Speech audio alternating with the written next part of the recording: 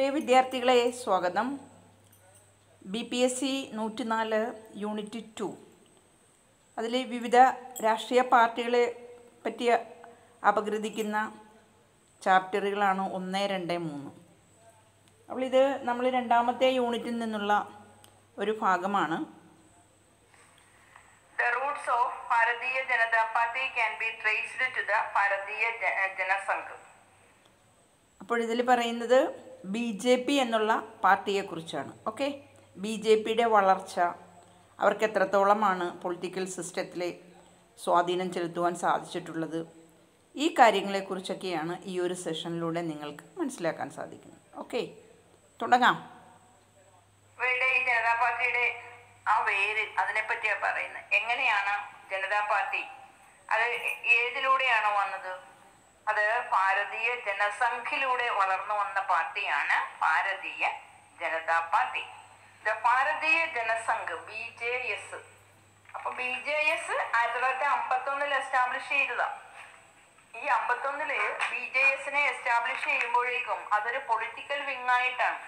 ആ പൊളിറ്റിക്കൽ വിങ്ങിന്റെ പ്രത്യേകത എന്തെന്നാൽ ഹിന്ദു നാഷണാലിസ്റ്റ് ഓർഗനൈസേഷൻ എന്ന രീതിയിൽ രൂപീകരിക്കപ്പെട്ട ഒരു പൊളിറ്റിക്കൽ വിങ് ആയിരുന്നു ഈ പറഞ്ഞ ബി ജെ എസ് അപ്പോൾ ഇവിടെ രാഷ്ട്രീയ സ്വയം സേവക് സംഘ്. അപ്പോൾ രാഷ്ട്രീയ സ്വയം സേവക സംഘാണ് ഈ ഒരു പേരിലേക്ക് കൊണ്ടുവന്നത്. എന്നിട്ട് ബി ജെ എസിന്റെ അതിന്റെ ഒരു രൂപീകരണം എന്ന് പറയുന്നത് അത് എങ്ങനെയായിരുന്നു? Founded by a renowned advocate അതൊരു അഡ്വക്കേറ്റ് ആണ് ഇതിന് രൂപം കൊടുത്തത്. പേരെന്താണെന്ന് അറിയാവോ ഷൈമ പ്രസാദ് മുഖർജി. ഷൈമ പ്രസാദ് മുഖർജി രൂപം കൊടുത്ത ഒരു ഹിന്ദു നാഷണാലിസ്റ്റ് ഓർഗനൈസേഷൻ അതായത് രാഷ്ട്രീയ സ്വയം സേവക സംഘ് അതാണ് പിന്നീട് ഈ ഒരു സംവിധാനത്തിലേക്ക് മാറിയത്. B J S gained substantial support in the Hindi speaking regions in India in the nineteen sixties അപ്പോൾ ഈ ഒരു സംഘടനയ്ക്ക് വേണ്ടത്ര തോതിലുള്ള പിന്തുണ ലഭ്യമായത് ഹിന്ദി സംസാരിക്കുന്ന പ്രദേശങ്ങളിൽ ഇന്ത്യയിൽ ആയിരത്തി തൊള്ളായിരത്തി അറുപതുകളിലെ ഇന്ത്യയിലെ ഹിന്ദി സംസാരിക്കുന്ന ഏരിയയിലായിരുന്നു ഇതിന്റെ ഏറ്റവും കൂടുതൽ പ്രാധാന്യവും അല്ലെങ്കിൽ സപ്പോർട്ട് കിട്ടിയിരുന്നത്. ആയിരത്തി തൊള്ളായിരത്തി എഴുപത്തി ഏഴ് എത്തിയപ്പോഴേക്കും ഇവർക്ക് കൂടുതലായിട്ട് എന്ത് ചെയ്യാൻ പറ്റി? മെർജ് ചെയ്യാൻ പറ്റി. ജനതാ പാർട്ടിയുമായിട്ട് മെർജ് ചെയ്തു. അങ്ങനെ it got merge with Janata party along with four other parties അപ്പോഴോ അപ്പൊ ഇവരെല്ലാവരും കൂടി കൂടി ചേരുകയാണ്. മെർജ് ചെയ്തിട്ട് ജനതാ പാർട്ടി ഉണ്ട്. ഈ പറയുന്ന സ്വയം സേവക സംഘമുണ്ട്. പിന്നെ അത് കൂടാതെ നാല് മറ്റു പാർട്ടികളുണ്ട്. അപ്പൊ ഇവരെല്ലാവരും കൂടി മെർജ് ചെയ്ത് വേറെ ഒറ്റ പാർട്ടിയായിട്ട് വരികയാണ്. So the following the following of the Janata party it's segment the B J S emerged as a party with a different name that is Bharatiya Janata party അപ്പോൾ ഇവരുടെ ഇടയിൽ തന്നെ നാല് പാർട്ടിയൊക്കെ കൂടി ഒന്നിച്ച് ഒന്നിക്കാനായിട്ടും അതിനിടയിൽ തന്നെ ജനതാ പാർട്ടിയുടെ ഇടയിൽ എന്താ ഓരോരോ ഇഷ്യൂസ് അതായത് ഡിസിന്റഗ്രേഷൻ അത് ഇന്റഗ്രേറ്റ് ചെയ്ത് സംയോജിപ്പിക്കുന്നതിനോട് ജനതാ പാർട്ടിക്കുള്ള ഇഷ്ടക്കേടിനെ തുടർന്ന് അവരുടെ സെഗ്മെന്റ്സ് ജനതാ പാർട്ടിയുടെ സെഗ്മെന്റ്സ് അവരുടെ ഭാഗം ആ ഒരു പാർട്ടിയുടെ ഭാഗം അത് എമർജ് ചെയ്യുകയും അത് പിന്നീട് മറ്റൊരു പേരിലേക്ക് മാറ്റുകയും ചെയ്തു. അപ്പോൾ നേരത്തെ നമ്മൾ കണ്ടു അതൊരു മെർജിങ് ലെവലിലേക്ക് വന്നു. പക്ഷേ അവർക്കിടയിൽ തന്നെ ചില പൊരുത്തക്കേടുകളും ആശയവിരുദ്ധതയും എല്ലാം ഉണ്ടാകാം. അങ്ങനെ അത് ജനതാ പാർട്ടി എന്ന രീതിയിൽ അവരുടെ സെഗ്മെന്റ് അവരുടെ ഭാഗം എടുത്തിട്ട് അവർ കൂടി ചേർന്ന് ഒന്നാകാൻ ശ്രമിച്ചെങ്കിലും പൊരുത്തക്കേടും വൈരുദ്ധ്യമായ അഭിപ്രായങ്ങളും ഒക്കെ കൊണ്ട് അവർ പിന്നെ തിരിച്ചു വന്നിട്ട് ബി ജെ എസ് പിന്നീട് എന്തായിട്ട് മാറി? ഒരു പാർട്ടിയായിട്ട് മാറുന്നു. ഒരു വ്യത്യസ്തമായ പേരിലേക്കാണ് അവർ വന്നത്. എലിഫന്റിനെയും that is the Bharatiya Janata party. B J P on April five nineteen eighty എന്നാ രൂപപ്പെട്ടത്? ആയിരത്തി തൊള്ളായിരത്തി എൺപത് April five Atal Bihari Vajpayee was its first president okay from its marginal position in the 1980s when the BJP was a small localized party with a political presence restricted to just a few states in the Hindi uh, in the heartland the acquisition of new territory and new allies has transformed it into being main political force in India with a mass national following എന്താ പറഞ്ഞു വരുന്നത്? ഇവയുടെ ആയിരത്തി തൊള്ളായിരത്തി എൺപതുകളിൽ നമ്മൾ കണ്ടു അടൽ ബിഹാരി വാജ്പേയി ആണ് ഇതിന്റെ ഫസ്റ്റ് പ്രസിഡന്റ് ആയിരുന്നു അപ്പോൾ ഇതിന്റെ ഒരു മാർജിനൽ പൊസിഷൻ നോക്കുമ്പോഴേക്ക് എൺപതുകളിൽ ഈ പാർട്ടിയുടെ ഒരു സ്ഥാനം ഒരു അവസ്ഥ എല്ലാം നോക്കുമ്പോഴേക്കും ശരിക്കും എന്തായിരുന്നു? തികച്ചും ഒരു ലോക്കൽ പാർട്ടി മാത്രമായിരുന്നു. അവരുടെ ലൊക്കാലിറ്റിയിൽ ഹിന്ദി സംസാരിക്കുന്ന പ്രദേശത്താണല്ലോ ഇത്. അപ്പോൾ അവിടെയുള്ള നോർത്തേൺ സ്റ്റേറ്റിന്റെ ഏതൊക്കെയോ പ്രദേശങ്ങളിൽ ചെറിയ ഒരു ലോക്കലൈസ്ഡ് പാർട്ടി എന്ന ആ ഒരു ഇത് മാത്രമേ ഇവർക്ക് ഉണ്ടായിരുന്നുള്ളൂ കുറച്ചു പേരുടെ സാന്നിധ്യം രാഷ്ട്രീയം അതിന്റെ പ്രവർത്തനം അതുകൊണ്ട് തന്നെ വളരെ കുറഞ്ഞ പ്രദേശങ്ങളിലായിട്ട് തന്നെ ഇത് റെസ്ട്രിക്റ്റ് ചെയ്തത് കാരണം എന്താണ് ഹിന്ദി? ഹിന്ദി സംസാരിക്കുന്ന ഹേർട്ട് ലാൻഡ് എന്ന രീതിയിൽ ഹിന്ദി എവിടെയാണോ സംസാരിക്കുന്നത് അവിടെ മാത്രം കുറച്ച് ആളുകളുടെ ഇടയിൽ. അങ്ങനെ രൂപപ്പെട്ട ഒരു പാർട്ടിയാണ് ഇത്. ന്യൂ ടെറിട്ടറിയിലേക്ക് ഇത് എത്തിക്കുക പുതിയ ആൾക്കാരുമായിട്ട് കൂട്ടുകൂടുക ഇതെല്ലാം ഇതിനെ പരിവർത്തനം ചെയ്യിക്കുക എന്നുള്ളത് ഇന്ത്യയിലെ ആ സമയത്ത് ശരിക്കും ഒരു വലിയൊരു ടി ഡി എസ് ടാസ്ക് തന്നെയായിരുന്നു. അപ്പൊ അത്തരത്തിലുള്ള ഒരു വലിയ ശക്തി വിശേഷമാക്കി ഈ പൊളിറ്റിക്കൽ കോഴ്സിനെ മാറ്റുന്നതിന് വേണ്ടിയിട്ട് ദേശീയ തലത്തിൽ തന്നെ ഇവർ വൻ പ്രചരണം നടത്തിയിട്ടുണ്ട് എന്നുള്ളതാണ്.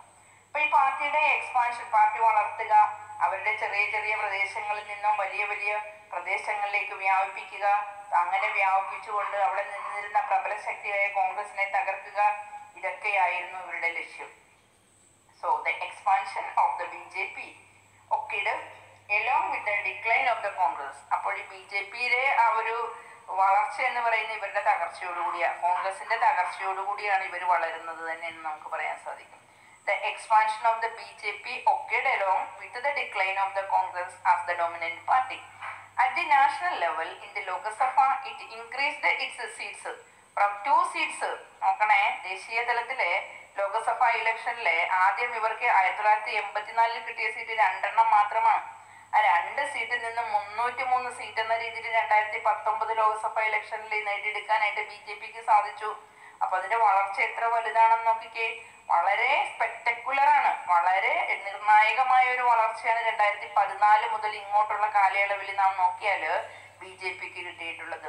അപ്പോൾ ഈ രണ്ടായിരത്തി പതിനാല് ലോക്സഭാ ഇലക്ഷനിലേക്ക് നോക്കുമ്പോഴേക്കും ബി ജെ പി നേടിയ സീറ്റ് എന്ന് പറയുന്ന ഇരുന്നൂറ്റി എൺപത്തിരണ്ട് സീറ്റാണ്. It mobilised popular support through the mobilisation on issues such as movement for construction of Ram temple at Ayodhya then abolition of article three seventy then abolition of triple talaq ഇതുപോലുള്ള issues എല്ലാം ഉയർത്തിക്കൊണ്ടുവന്നാണ് ജനങ്ങളുടെ ഇടയിൽ ഇവരുടെ ആ ഒരു സ്ഥാനം ഉറപ്പിക്കാൻ അവർ ശ്രമിച്ചത്. അതായത് ജനപിന്തുണ ഉറപ്പിക്കുന്നതിന് വേണ്ടിയിട്ട് അവർ പല പല ഇഷ്യൂസ് പോപ്പുലർ ഇഷ്യൂസ് എന്ന രീതിയിൽ ഒന്ന് ഏതാണെന്ന് നോക്കിയ such the movement for the Rama ക്ഷേത്ര നിർമ്മാണവുമായി ബന്ധപ്പെട്ടിട്ട് അതിന്റെ ആവശ്യകത അപ്പോൾ അതിനു വേണ്ടിയിട്ട് ജനങ്ങളെ ഒരുമിപ്പിച്ചു കൂടെ നിർത്തി അപ്പോൾ അയോധ്യയിൽ രാമക്ഷേത്രം നിർമ്മിക്കേണ്ടതിന്റെ അനിവാര്യതയെ പറ്റി അവർ ജനങ്ങളുടെ ബോധ്യപ്പെടുത്തുന്ന കേസ് അങ്ങനെ രാമക്ഷേത്ര നിർമ്മാണം നടത്തുന്നു. പിന്നെ ആർട്ടിക്കിൾ ത്രീ സെവന്റീൻ അത് സമൂഹത്തിന് ഗുണകരമല്ലാത്തത് കൊണ്ട് എടുത്ത് മാറ്റണം എന്ന രീതിയിൽ അതുപോലെ തന്നെ triple talaq abolition of triple talaq അങ്ങനെയുള്ള പ്രശ്നങ്ങളൊക്കെ ഇവരെ ഏറ്റെടുത്തു ജനങ്ങളുടെ ഇടയിൽ എന്താ പറയാ താരപരിവേഷം ഉണ്ടാക്കിയെടുക്കാനായിട്ട് ശ്രമിച്ചു എന്നുള്ളതാണ്. The B J P as the major member of N D A national democratic അലയൻസിലെ സഖ്യകക്ഷികൾക്ക് ഉള്ളതിലെ ഏറ്റവും പ്രധാനപ്പെട്ട major member B J P ആണ്. അപ്പോൾ ഇത് നാഷണൽ ഡെമോക്രാറ്റിക് അലയൻസ്. അതിനകത്തെ പ്രധാന മെമ്പറാണ് ബി ജെ പി. അവർക്ക് എന്താ പറയുക സെൻട്രൽ ഗവൺമെന്റിൽ ഇന്ന് എന്തുണ്ട്? രണ്ടായിരത്തി പതിനാല് മുതൽ ഇവരുടെയാണ് ഹെഡ്. അവരാണ് നയിച്ചു പോരുന്നത് പ്രധാനമന്ത്രി അവരുടെ അവരും ബി ജെ പിയുടെ അധ്യക്ഷതയിലുള്ള ഗവൺമെന്റുമാണ് ഇന്ന് ഇന്ത്യയെ നയിച്ചു പോരുന്നത്. അപ്പോൾ അതുകൊണ്ട് തന്നെ സെൻട്രൽ ഗവൺമെന്റിനെ ഏകദേശം ഈ രണ്ടായിരത്തി പതിനാല് മുതൽ ഇങ്ങോട്ട് നോക്കുമ്പോഴേക്കും ഇവരുടെ ഒരു പ്രാധാന്യം വളരെ വളർന്നിട്ടുണ്ട്. മിക്ക സംസ്ഥാനങ്ങളിൽ തന്നെ ഇവരുടെ ഒരു സാന്നിധ്യം ഇന്നുണ്ട്.